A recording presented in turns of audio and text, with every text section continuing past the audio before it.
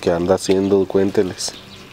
Aquí ando regando mis plantas que no han querido florecer. Pero sí ya van avanzadas las el este ¿cómo se llama? El guayabo. El, guayabo ya tiene botoncitos, ya va, ya va a florecer. Y ya de allí de las florecitas van a brotar las guayabas. Y el rosal que puse parece que se iba a perder. Eh, las hojitas se le secaron, pero allí está la cañita verde. Como que sí iba a brotar.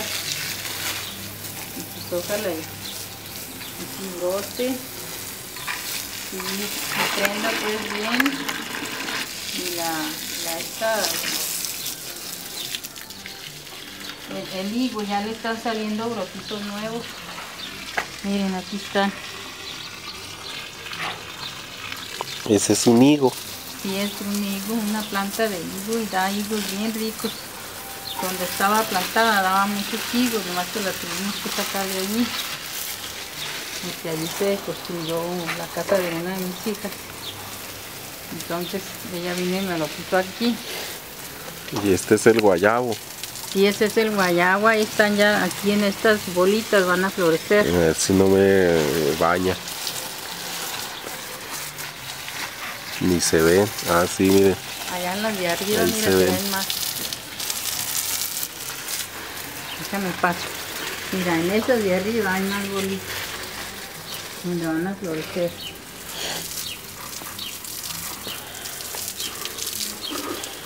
Cada cuando riega el jardín. Cada tercer día, los lunes, miércoles y viernes. Y a veces también los domingos porque como ha estado muy fuerte el sol, también tengo que regar. Yo lo bendiga. Mira, esta, mira, tiene muchos bolitos aquí. Sí, ya las pasé. ¿Y esta cazuela para qué es? Esta es la, agua de los gatos. Les pongo agua limpia todos los días. Porque ellos también necesitan tomar agua limpia. Los ñeñis. Los niños.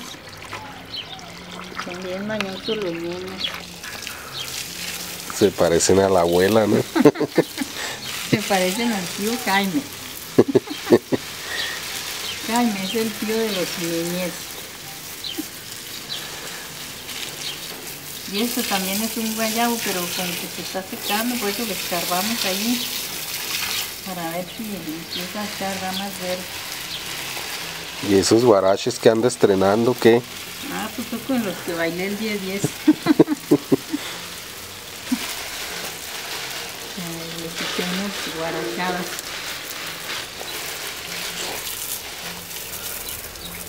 Y esas águilas son tan bravas, me quitan mis pies cuando ando ahí arreglando mis plantas. Tengo miedo porque... La sábila. Sí, estas sábilas, por eso las tengo aquí, les metí las orillas. Están. Bueno, despídase y invítelos que se si- sigan suscribiendo a su canal. Síganse suscribiendo a mi canal, el canal de Doña Mary. Le mando felicitaciones y un abrazo bien fuerte y, y bendiciones. Que Dios los bendiga siempre.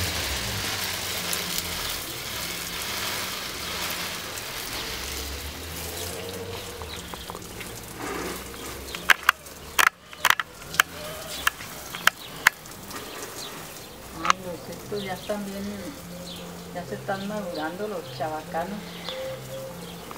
Tengo que ir a regar allá de este lado.